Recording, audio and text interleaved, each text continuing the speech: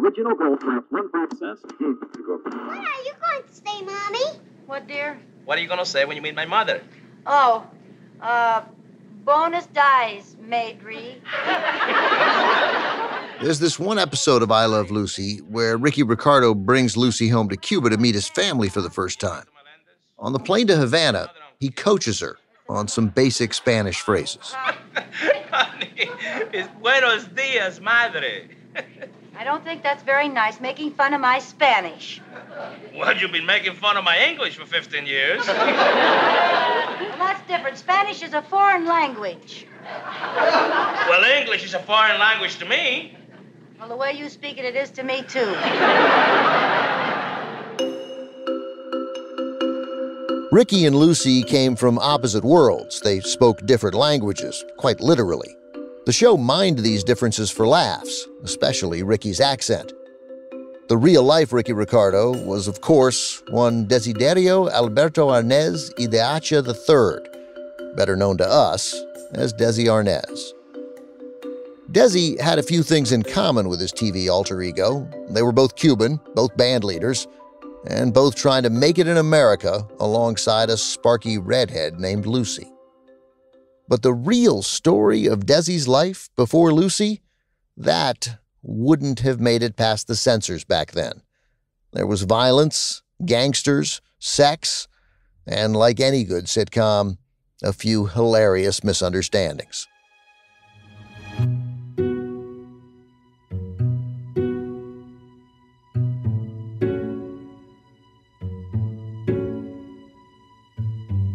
I'm Ben Mankiewicz, and this is season three of The Plot Thickens, a podcast from Turner Classic Movies. This season, we're telling the story of how Lucille Ball became the funniest, most recognizable woman in America. When she was 28, Lucy met Desi Arnaz at the RKO studio in Hollywood. He would become the most important man of her life.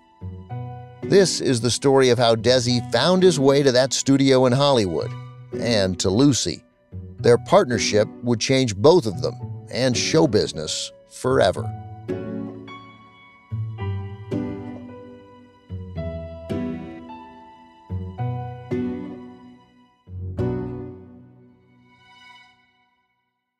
This is episode 4 Desi.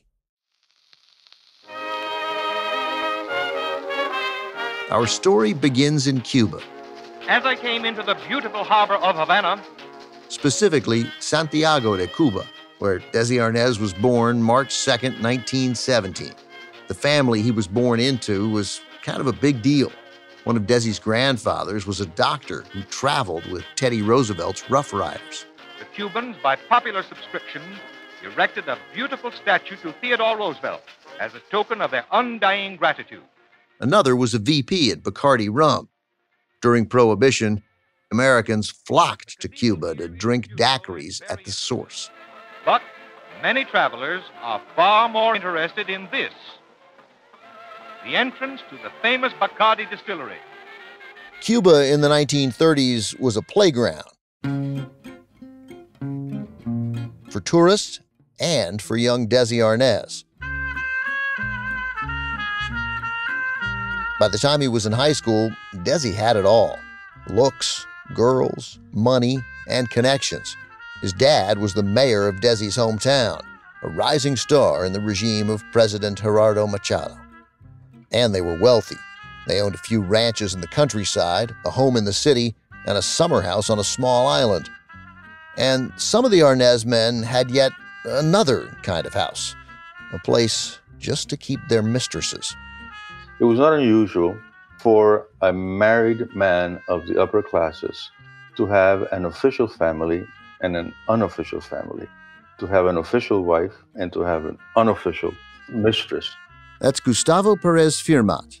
He's a Cuban American and a literature professor. He's written a lot about Desi. The unofficial family, that family was called La Casa Chica, the small house. The official family lived in the big house. In Spanish, we call them queridas, loved one. And it's strange that your wife is not your querida. Desi's grandfather had seven children with his wife. His mistress raised at least seven more. Desi, though, was an only child. He was named after his father, Desiderio, from the Latin word for desire. When Desi turned 15, his uncle took him out to celebrate. For Cuban boys of a certain class, and maybe of any class, it was a kind of rite of passage to be taken to a brothel for him to lose his virginity when he was 14, 15, 16. And in Desi's case, it was his uncle who took him to a fancy brothel in Santiago de Cuba called Casa Marina. Desi began frequenting brothels when he was 15, and he never stopped. At Casa Marina, Desi says he learned the whole deal. Skills he would later use to seduce some of the most glamorous actresses in Hollywood.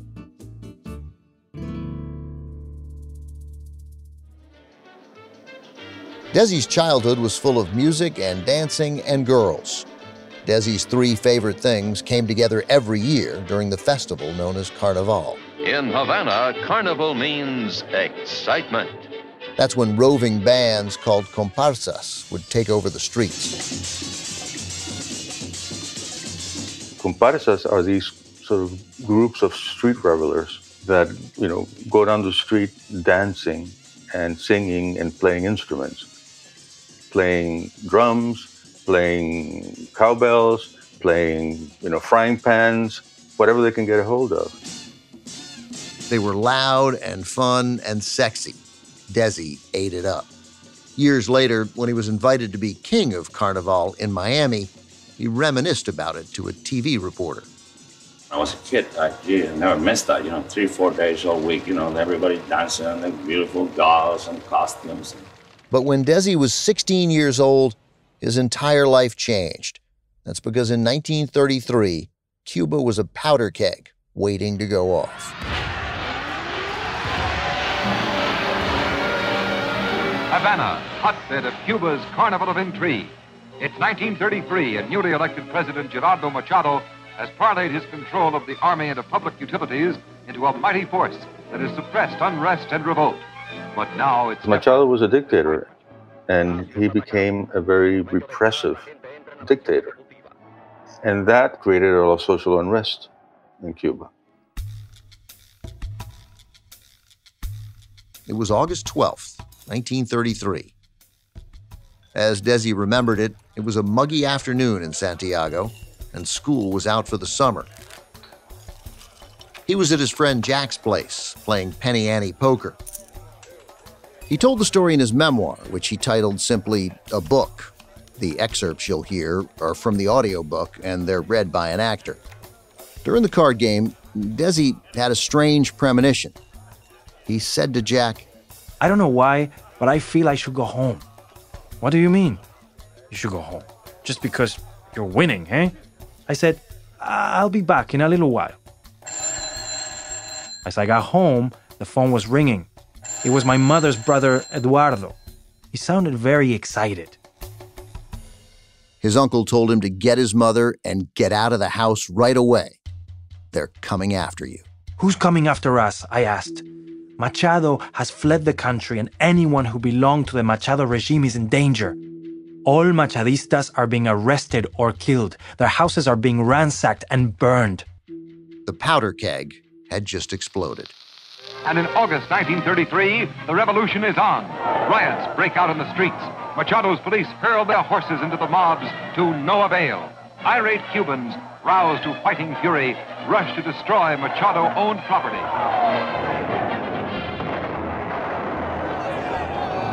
When he hung up the phone, he heard a rumbling sound. I looked out and I could not believe what I saw. About eight blocks away, just beginning to come over the top of the hill on our main boulevard, there was a mob of 500 people or more carrying torches, pitchforks, guns, and God knows what else. He helped his mother into her coat, grabbed some cash and a gun. They managed to escape just before the crowd set fire to their home. Desi's father, meanwhile, was 500 miles away in the capital. Here are the actual scenes of mobs running wild in Havana, celebrating Machado's downfall. As rioting crowds surge through the streets, shouting for the blood of Machado and his henchmen. Old newsreel footage shows rebels hurling pianos from second floor balconies and burning piles of furniture in the streets. Machado had already slipped out of the country with sacks full of gold. But Desi's father wasn't so lucky. He was in jail six months. They put all the congressmen in jail, all the senators, all the mayors, all the governors. Everybody was in the camp. The Arnaz family lost everything. Desi would later describe driving past the wreckage of his house in Santiago. He saw the family car flipped upside down on the sidewalk, heirlooms lying broken in the yard. The last thing he saw was his guitar, smashed and still smoldering.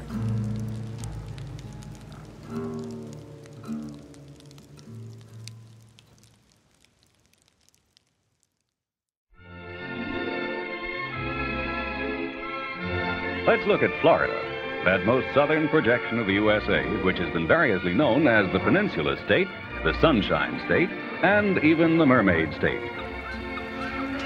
Desi Arnaz stepped off the ferry in Key West in June of 1934.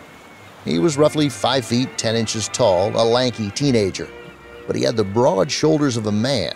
He wore his jet black hair slicked back and swept over to the side. A stray lock often fell down his forehead especially when he danced. He had dark eyes and an easy smile. Like so many others, Desi was looking for a fresh start in America. His timing, though, couldn't have been worse. The United States was in the middle of a depression. These were not prosperous economic times. And so you have these people who come here, and then you have to figure out a way to make a living. Desi's father greeted the boat. After six months in prison, he'd gone into exile in Florida. The plan was for Desi's mother to stay on the island until the Arnaz men could set up the family in Miami. But it was an uphill climb. You know, I couldn't speak English, so I was going around, you know, see if I could find a restaurant that says, uh, si habla español, you know. I think it must have been difficult for both of them. Desi's father, who was an educated man who had been an important politician in Cuba, had to make a living selling tiles they lived in the warehouse where the towels were kept. And at night, they had to swat away the rats. So it had to be a struggle at the beginning. Desi enrolled at St. Patrick's High School in Miami Beach. That's where he met his first American best friend, Al Capone Jr., the son of America's most famous gangster. To make ends meet, Desi got a job cleaning bird cages. And in the winter of 1936, he landed his first showbiz gig, singing and playing guitar for a rumba band.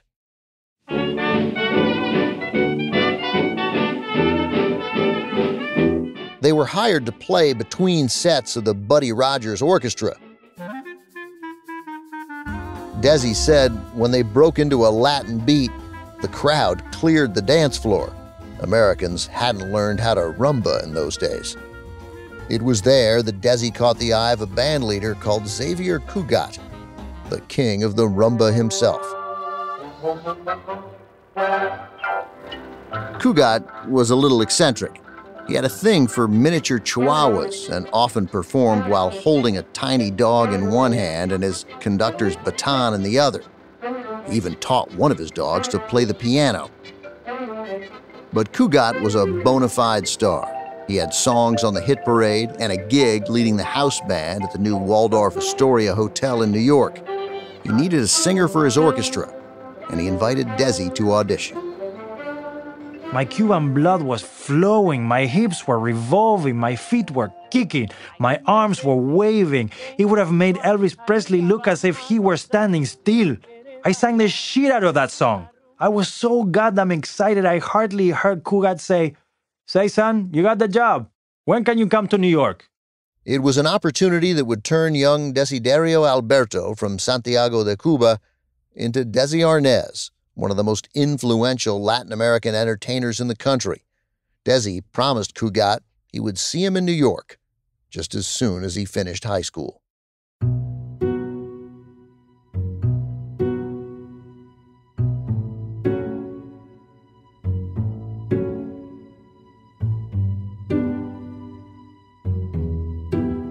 The plot thickens will return in just a moment.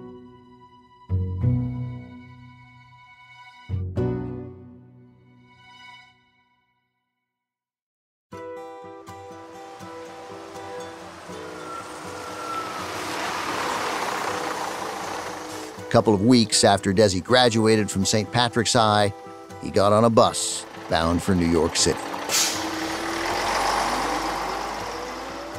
Cugat had sent him a one way ticket and promised to pay him for just two weeks of work, a tryout, he called it. Desi's father thought he was crazy to go. When Desi got off the bus in Times Square, he had 15 bucks in his pocket and no idea if this gamble would pay off. Desi got himself a hotel room for a dollar a night, then went straight to the Waldorf. He took the elevator all the way up to the 18th floor to the Starlight Roof Supper Club. He had just a few days to rehearse with Cugat's orchestra before the show went on the road. During those rehearsals, Desi quickly found a pal. They were actually better friends than I even knew. That's Mike Nicoletti. His dad was Nick Nicoletti. He was Cugat's assistant. It was Nick's job to take Cugat's chihuahuas out for their walk every day. Nick and Desi would become close over the years. At lunch, They'd all sit around playing cards, you know, drinking alcohol. These long, luxurious lunches where they were just kind of like party. Once the tour started, the orchestra played the Arrowhead Inn. It was a casino in upstate New York that was popular with people with last names like Vanderbilt. One night, Bing Crosby was there. Crosby was one of the biggest musical stars of the time. He invited Desi over to his table. Desi told Bing Crosby that Cugat was only paying him $30 a week. That cheap crook, Crosby said. And he marched over to Cugat and demanded he give Desi a raise, which Cugat did, to $35 a week. To live on $35 a week in New York, even in those days, was very difficult. Today, of course, it's impossible. Having to go through the Waldorf kitchen to get to the bandstand helped. I lifted all the celery, olives, carrots, pieces of bread, buns, and butter, and whatever else I could stash into my rumba shirt every time we came back through the kitchen for our 10 minute rest. Those wide, full sleeves with all the big ruffles were very useful. Desi watched Cugat and learned the business of being a band leader. After six months, Desi told Cugat he wanted out. He wanted to start his own band. He told the story to Johnny Carson on The Tonight Show in 1976. I quit Cugat because, like I says, I couldn't uh, eat well no. working with him. and uh, I said, Cugat, I gotta quit. I gotta get my little band. And he says, You'll die of hunger. Nobody knows the rumba in this country. I says, I'm dying of hunger now. So what's the difference? so he says, Go to Miami. And uh, I go to Miami. I said, If I get a job, would you send me a little band? I said, Sure. So he said, you can use Xavier Cugat as his Desi Arnaz Orchestra from the World Waldorf Astoria in New York City. I said, gee, that's great, you know, it's a wonderful start. When Desi left New York to strike out on his own, he took his friend Nick Nicoletti with him. Nick had a talent for persuasion that would come in handy in Miami. That period in Miami, that seems like kind of a fairy tale type time in their relationship and my dad's existence. He worked out this one deal with him, and he said, "Yeah, I just let Nick do it because he's a better bullshitter than I am, or something like that." Desi hired Nick to manage his new band, Desi Arnaz and his Xavier Cugat Orchestra. Nick and Desi heard about a new club opening in Miami Beach and thought they'd try to get the orchestra booked there. They walked in one night and acted like big shots. They left huge tips for the cigarette girls and pretended to know about expensive champagne. In the end, they BS'd their way into a regular gig, and the paycheck? $650 a week. Desi wasn't even 21 years old yet, but he was already becoming a shrewd businessman, the kind of guy who in Cuba might be called un vivo, Here's Gustavo Perez again.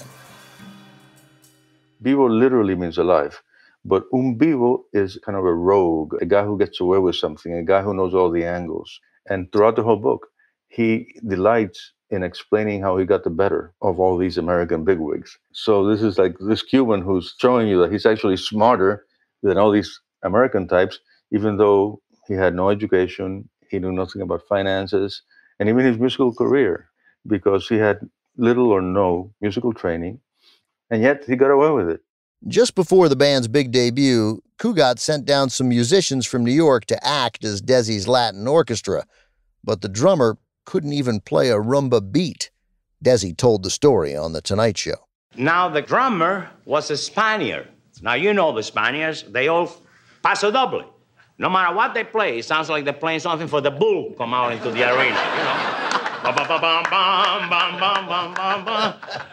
And uh, a violin player, a saxophone player, and a bass player. There's the two Italians and another Jewish fellow. No Cubans in the whole thing? Nothing. No maracas, no conga, no drums, no nothing. The first set was a total disaster. I came down the stairs, the guy says, You're fired. Just- that is the worst sound I have ever heard in my life. and he was right. You're bad. He was right. He says, I would have been better off hiring the Salvation Army. anyway, I said to these guys, I bought a bottle of rum. I says, Drink up. We're going to try something new. The band was scheduled to play for a packed New Year's Eve crowd. That's when Desi came up with what he calls his dance of desperation. he was um, fronting a little band and it was bombing and the musician didn't know how to play cuban music and so he remembered these carnival celebrations Desi thought back to those festivals where Cubans paraded through the streets banging pots and pans or whatever they could find. It never failed to put people in a party mood, and you didn't have to be a virtuoso to pull it off. So Desi strapped on a conga drum and gave the band a quick lesson on the beat. To the drummer and says, You can go boom, boom, boom, boom, can you? You don't have to make that sound like a paso doble. He says, No, boom, boom, boom, boom, I can go. I says, All right. Now the violin player, I went to the kitchen, got two frying pans, gave him the frying pans. He says, he says, How do I go boom, boom, boom with these things? I said, You don't go boom, boom, boom with those. You go ding, ding, ding, digga, digga, ding, ding. He said, Ding, ding, ding, digga, digga, ding, ding. Now, this is a guy that probably was hoping to be Jascha Heifetz, and he's Sitting there with two frying pans. sitting there with two frying pans and two spoons. You know? That's how the conga started. My dance of desperation. Nick Nicoletti was in the audience and told the crowd to form a line behind him. One, two, three, kick. Desi climbed on top of the bar and beat the drum until the whole crowd was out of their seats, snaking through the club.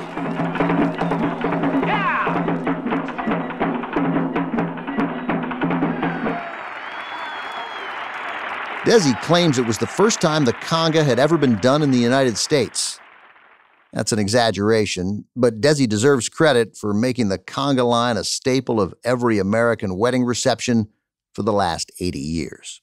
back in the days of the conga craze there were many many conga songs with funny titles like the conga from honga or um, boogie woogie conga but the best conga title is i came i saw i congat and i think that's sort of a description of what desi did he came he saw he congat and he sort of congat his way into fame and fortune Within a year, conga fever had gripped the country. In New York, a new club called La Conga was set to open near Swing Street, the heart of Manhattan nightlife. The owner offered Desi a regular gig. La Conga was the place to be seen that summer, especially for New York society girls. They were big fans of this Cuban newcomer. Gossip columnist Walter Winchell wrote that La Conga is where the debutantes go from prim to primitive. Another regular at La Conga was a woman named Polly Adler. Polly Adler was the most famous madam in America in the jazz age between World War I and the end of World War II. That's Debbie Applegate, Adler's biographer. She was a very tiny woman with a big, booming voice. And she was very funny. She had a Yiddish, uh, Brooklynish accent uh, and was known for her jokes. Uh, The madam even had her own catchphrase. it is always a, a uh, business doing pleasure with you. Adler was running a high class bordello out of a townhouse in midtown Manhattan. Half of New York society hung out at Polly's, from the writer Dorothy Parker to mobsters like Lucky Luciano. By the early 1930s, there is not a nightclub in America that is not mob connected. That's just a fact. She very quickly became one of the top madams for the Prohibition era gangsters who were bringing bootleg booze into New York and starting the nightclubs and the speakeasies that would come to dominate New York nightlife. One of the ways that she would advertise is by taking her girls, or, especially if she had a new suite of girls, take them out to the nightclubs where they would sort of parade in and grab everyone's eye. Polly started bringing her girls to La Conga. It was the hot new night spot. She would show them off to the clientele and to the band. It's a little basement club. It's very romantic feeling in the low lights with the palm trees and the murals of Cuba on the wall. And she has a couple of her girls there, including um, one of her new redheads. Uh, she always liked to keep a blonde, a brunette, and a redhead uh, on staff at any given moment. And if she didn't have a real redhead, somebody had to become a redhead. One night, Desi took an interest in one of Polly's redheads. In fact, the words he used to describe her were built like a brick shithouse. Always a gentleman. Polly invited Desi to join them for breakfast at her house after his last set.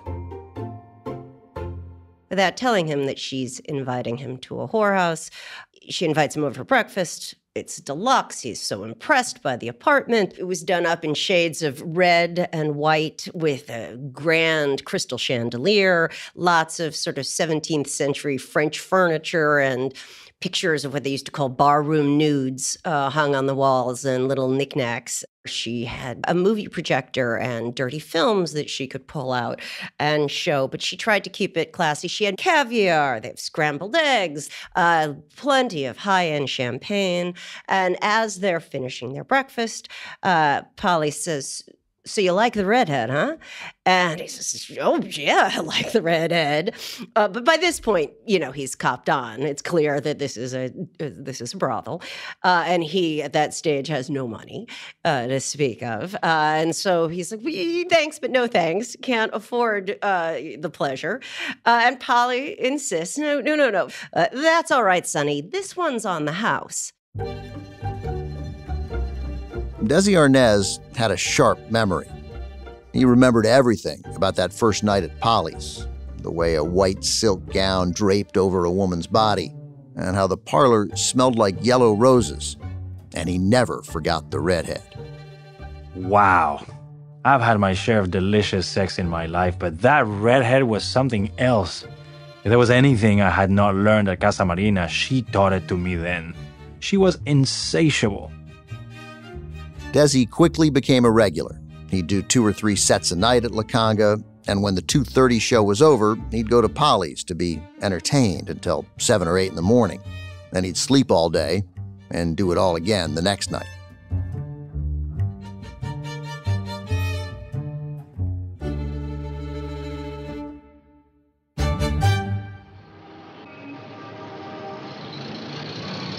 Desi was a young kid in a new city in a new country, suddenly getting a lot of attention for his good looks and that exotic accent. And Polly's was more than just a brothel. Applegate thinks it was a place where people like Desi could escape the pressure of the spotlight and feel at home. Polly's house was a place where you could let your hair down, you could just be free. It was a, a, place where a lot of gay people came. It was a place where a lot of people who were eccentric came. And it was a place where men like Desi Arnaz could come and feel like you could just be yourself in a way that was almost impossible in other places. Desi didn't know it yet, but he was about to meet someone who would give him that same feeling. She grew up over a thousand miles away from the Cuban city where he was born, but she would make Desi feel like he was home. Desi's star was rising fast.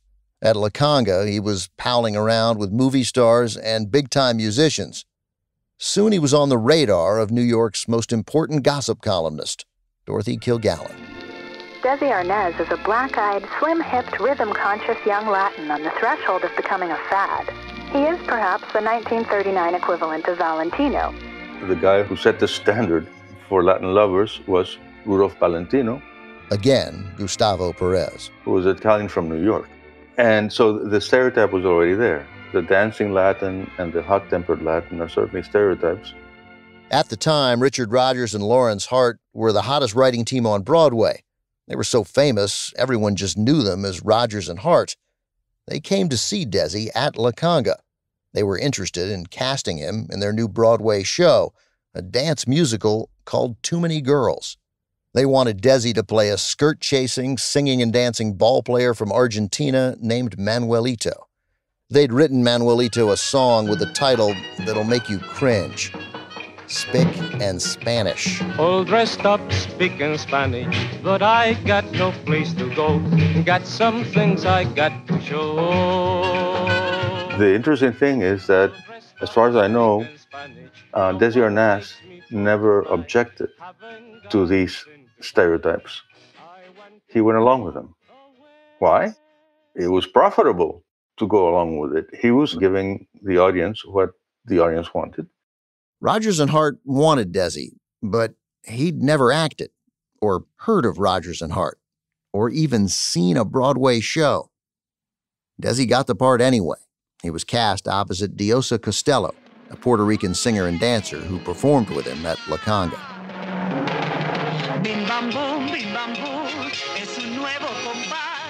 Desi was riding a lucky streak. But while the musical was in rehearsals in Boston, he worried his luck might have run out. It all started with a sore toe. He realized up in Boston that he had a sore toe and it was turning kind of purple. So he goes to the doctor. Uh, doctor is treating the toe, but then the doctor comes back with bad news. He hates to tell him this, but he has syphilis.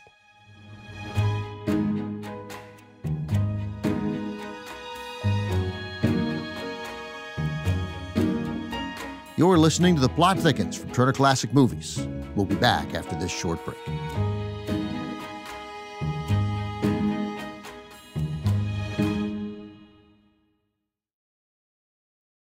In 1939, a syphilis diagnosis sounded like a death sentence. There was no penicillin back then. Al Capone, the father of Desi's high school buddy, had gotten the disease not long before, and it eventually killed him. And now a doctor was telling Desi he had it too. What he said to the doctor is, I don't see how that could be. The girls at Polly's house are really clean.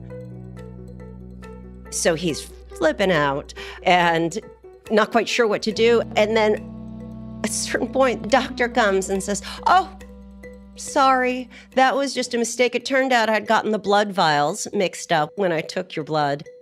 It was some other guy. And as he said, it was like one of the best days of his life, the day he, he learned that he did not have syphilis.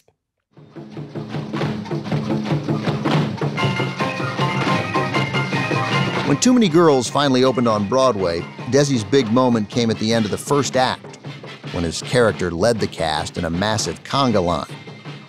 Van Johnson was Desi's understudy.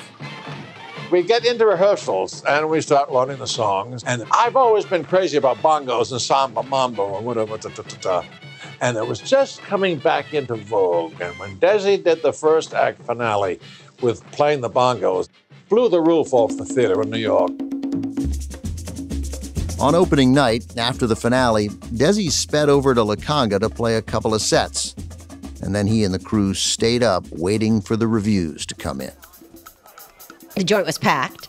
Everyone's wearing white tails and white tie. Desi finishes his last set and then joins the table with all of his friends and colleagues to wait for the papers to arrive. Around 4:30 in the morning, Polly Adler suddenly appears out of the crowd and she's got a stack of papers in her arm and she barrels over the table where they're sitting as he put it, just booms in that big, booming, deep voice of hers. Cuban, you are the biggest fucking hit in town. Desi celebrated the best way he knew how, with an all night romp at Polly Adler's.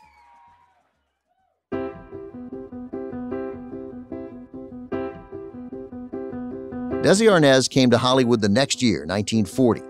RKO had bought the film rights to Too Many Girls and cast him to play Manuelito on the big screen. He was 23 years old and in love for the first time with a girl he called Freckles. Weren't you in love with another girl at the time named Freckles? Yeah, Freckles, yeah. Desi didn't identify Freckles in his book, but radio host Lou Gordon got him to reveal her real name, Renee DeMarco. She was a great dancer, wasn't she? And you're really in love with her. Much. Renee DeMarco was one half of a famous ballroom dance team called the Dancing DeMarcos. She was already married to her much older dance partner, Tony, but her heart was with Desi. And Desi felt that Freckles really got him. She understood that when he went out with other women, it wasn't serious. Freckles never nagged, and Desi intended to make her his wife. His publicist, he had a publicist now, even leaked news of their romance to the press. But on his first day on set at RKO, fate showed Desi Arnaz it had other plans.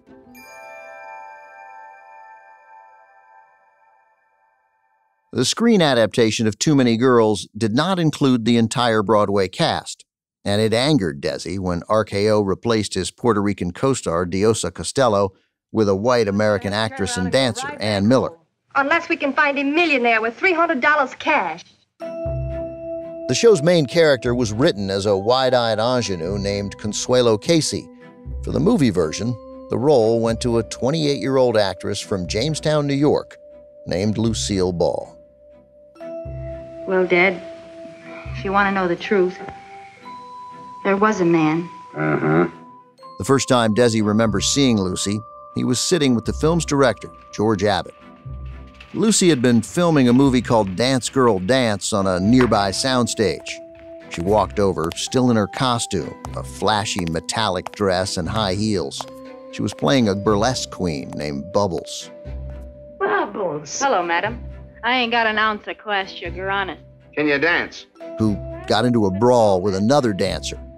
Lucy had a big black eye, part of her character's makeup. So here I am. Can she really dance? Desi asked George Abbott, who the hell was that woman? George said, that's Lucille Ball. She's playing Consuelo, the innocent college girl. Desi couldn't believe it. He told the story on The Tonight Show in 1976. I said, she's going to be the engineer? Sure, you mind? I said, there's no way you can put this girl back to play an engineer, you know. But the second time Desi saw Lucy, just hours later, well, that was different. Desi remembered every detail, even decades later. He remembered what time it was, 5 o'clock in the afternoon. He remembered exactly what he was doing. He and the piano player were rehearsing a song called She Could Shake the Maracas. And he remembered everything about the woman who walked into the room at that moment. She came in with a very lovely pair of yellow slacks and a tan sweater and broad hair. She, had, she was a blonde then. And those big, beautiful blue eyes. And I said to the piano player, Oh man, that's a hunk of woman, you know. He says, You met her this morning. I said, No, I never saw her before in my life. He said, Sure, that's Lucille Ball. That's the one that's going to. I said, That's Lucille Ball? He said, Yeah. So she, by this time she came over. He says, Hello, Dizzy. and I said, there is not Dizzy. He says, Daisy? I said, No, that's a flower. I said, Desi. D E S I. Oh, all right. I said, Are you doing anything tonight? Because if you don't have anything to do tonight, uh, how would you like to learn how to do the rumba? Gustavo Perez has thought a lot about this. What was it about Desi and Lucy that so instantly connected them in that moment? It's kind of why he started writing about Desi. Gustavo is Cuban, also married to an American woman, Marianne. Became interested in the I Love Lucy show to learn how a Cuban man and an American woman make a life together. Marianne told me that when she met me, the only other Cuban she knew was Ricky Ricardo. And then she told me, You're Ricky Ricardo with a PhD. Gustavo thinks that with Lucy and Desi, it was a case of opposites attract. He liked the fact that she was different from every woman that he'd met before. She liked the fact that he was different from every man she had met before. And I think sex had a lot to do with it because he could rumba standing up and he could rumba lying down. The chemistry was obvious to their co stars, too. Van Johnson played a chorus boy in the film. This is from a PBS interview from 1999. Well, you could see the fireworks and the, and the sparks. They complemented each other. And she fell in love with him and his accent and his dark beauty. But we saw it happen. There was just, they just clicked Did you think it would last? forever. Forever.